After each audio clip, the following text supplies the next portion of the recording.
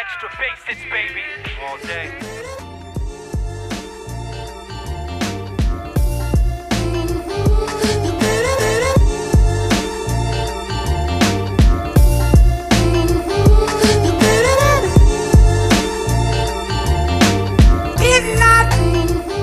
Hey guys, so I'm going to start doing these um, first impressions videos for headphones and stuff like that. Uh, it's a great way for me to get some more content on the channel. It's also good for you guys to see what the headphone's all about. And it's good for me to give sort of an impromptu discussion about what I think about it. Instead of giving a full review right off the bat, it gives me more time to uh, update it later with an official review. But yeah, I, I, can in this forum, forum I can just casually discuss the headphone, and it lets me be a little bit more loose instead of I'm a very structured person, as you can tell. I'm very um, step by step kind of OCD a little bit about how I organize things. So this gives me a chance to just kind of let loose and give my impressions, my initial impressions of the headphone. And as I get more time with it, I can later on uh, make an official review and discuss it more in depth. But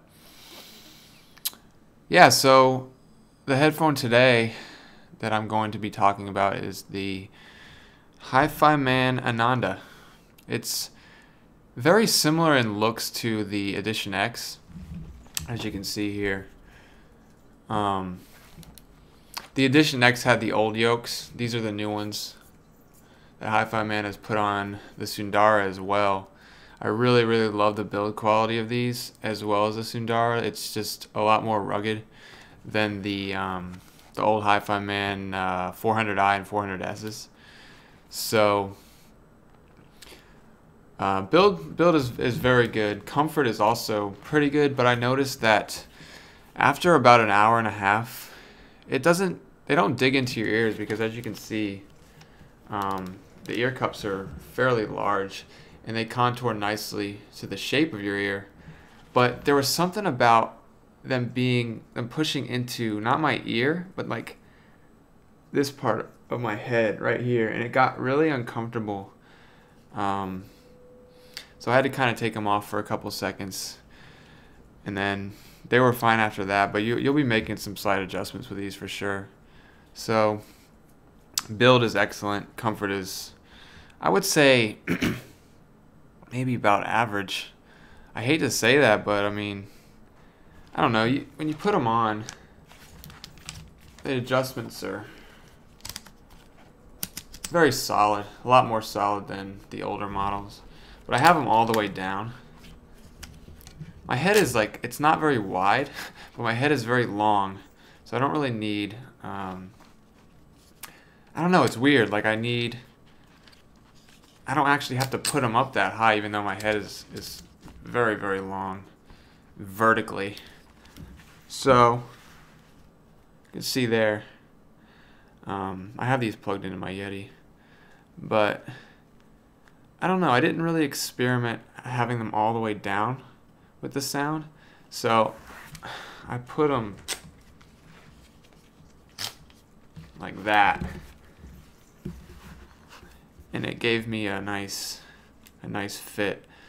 Uh, with HiFiMans and planar magnetic drivers in general, you can slide the headphones forward so the backs of the ear cups are hitting the backs of your earlobes and down. So the tops of the ear cups are hitting the tops of your earlobes. And uh, it, it alters the sound a bit in a good way. It gives it more depth or more uh, width and more sound stage, more air, I would say. Uh, it just kind of opens up the sound a bit. So that's how I like to have them, kind of like that. So what about my sound impressions of these? Um,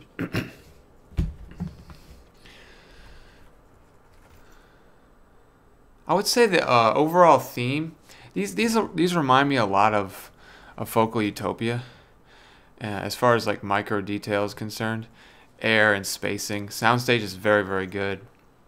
Um, I noticed that they're a bit essy. It's not an ongoing issue with like all of the tracks I listen to, but you'll definitely notice some uh, slight sibilance, I would say. Kind of have a metallic hue to them a little bit. It's not like a deal breaker or anything like that as far as my initial impressions go. Um, there's a, a great sense of atmosphere with these, a lot of depth, a lot of width to the image. Um, I would say these would be like an amazing set of headphones for reference purposes. Uh, I noticed that I don't know if you guys are familiar. You are familiar with my uh, my logo animations, and I use I utilize a lot of sound in them. And I noticed that when like playing back some of those animations that I updated, you could hear like all the mistakes. It was kind of embarrassing actually. Uh, you could hear like precisely where I cut in um, Premiere Pro. I was kind of taken aback by it. Like, there's so much transparency with these that it's like it's almost like wow. I hope nobody listens to my animations with these headphones. like it was fairly embarrassing to. Um, I mean, it wasn't terrible. It's just you can you can hear more going on. You can hear more mistakes which lends itself very well to uh, mixing and mastering uh, and reference type of work. So that was really cool. I thought, um, not cool in my case, but like I said, very similar sound to the Utopia. A ton of micro detail going on, a ton of stuff that you wouldn't otherwise hear, and even um, a mid-level audiophile headphone like the HD600 or something like that, definitely a step above, and I could say that with uh, without reservation. Really, this is a thousand dollar set of headphones about, and I think they really do represent that price point pretty effectively. Um, I actually might drop the money on these if I had it because it does give you a step up in sound um, the law of diminishing returns is still sort of at play, but um, it's definitely an improvement over something like an HD650. You get more spacing, like I said, more air, more um, transparency for sure. Uh, it's the Ananda is a, a very clinical sound in my estimation. The bass is it's not rolled off. Uh, if it's rolled off, it's a little bit rolled off. It's not I would I would um, liken this bass to something like an Audeze LCD X. I, I would say it um, it's very ple- pleasurable. It's very pleasant. It's a very pleasant listen.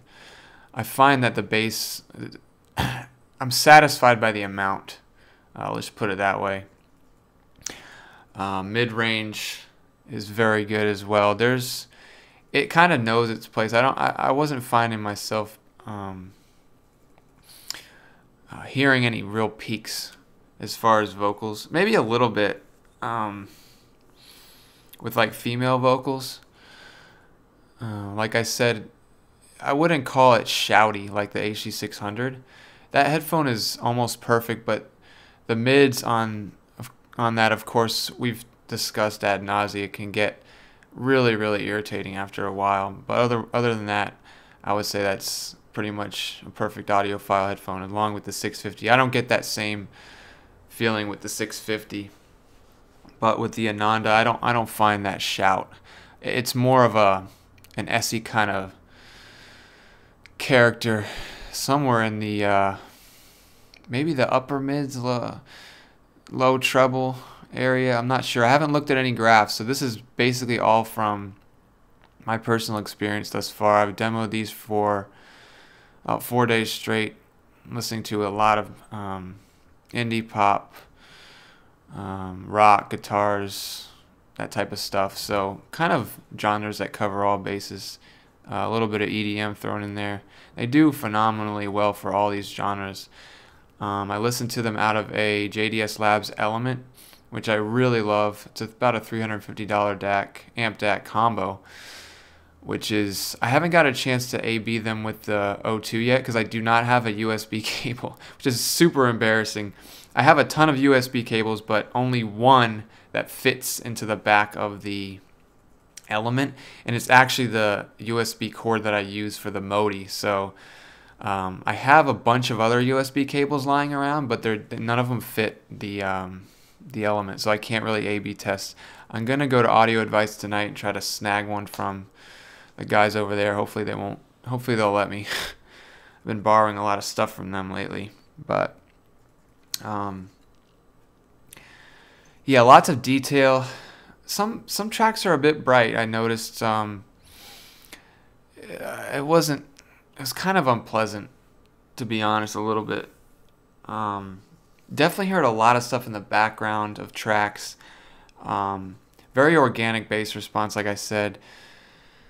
Um, these headphones are pretty smooth and musical. I mean, out of the element, the element is kind of a neutral DAC, so it may not be the best fit for the Ananda. Um, I didn't really try them out of the HA2 or the E10K, which I still have and I'm still demoing. And I didn't try them out of the Magni either. I just basically used them with the Element because I figured that's just about the best DAC I have right now in my studio. I had the Mojo. I would have loved to get a chance to try these with the Mojo, and I might try that next time I demo them. I got to bring them back today, but I may uh, take them home again next Saturday. Um, so I would I would call this headphone immensely uh, detailed and clean, if a bit essy at times with certain tracks. Um, there's a, good, a nice sense of realism and timbre with instruments that you don't really notice a lot of the time, especially in the beginning of tracks, you'll hear stuff like you'll hear weird sounding um, atmospheric type of instruments in the background of certain tracks, like um, VBND, something I've been wanting. I'm not sure if you heard that track, but um, with it's it's almost like with the Utopia. There's a lot of, of stuff going on in the background. A lot of um, separation of instruments is very, very good. And like I said, the soundstage is very good. There's a nice sense of space with these. And I would say the number one thing is micro detail for sure. And that's why it reminds me a lot of a Focal Utopia. Maybe perhaps not as good as a Focal Utopia as far as um, balance, musicality, I would say the Utopia is a lot smoother. Not a lot smoother, but like a little bit smoother across the board. I find that the Utopia's treble isn't quite as biting. Um, yeah, that's about it for my initial impressions. I hope you guys enjoy this. This is sort of like a impromptu way, off the cuff way of uh, discussing headphones, and I kind of like it. Um, it gives me a chance to just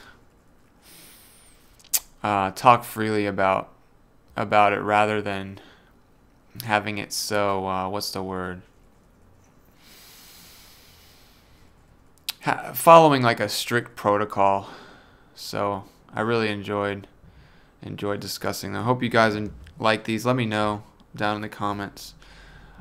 Um, I don't have a lot of subscribers, so most of the people that see this will be my core group, which I, I really enjoy uh, conversing and discussing gear with you guys. So, um, yeah, and it's a good way for me to um, put out content. Like I said, I'd like to get out a video per, per week, but I figured I wouldn't be able to get an official review out every single week because I just don't have enough gear at my disposal right now. I have a lot of stuff to go over but it's hard for me to get a lot of things and keep them all right? Like for a long period of time like i gotta return things. Uh, stuff i get from companies they don't really give me a deadline so that's really cool. But like with audio advice no nothing against them.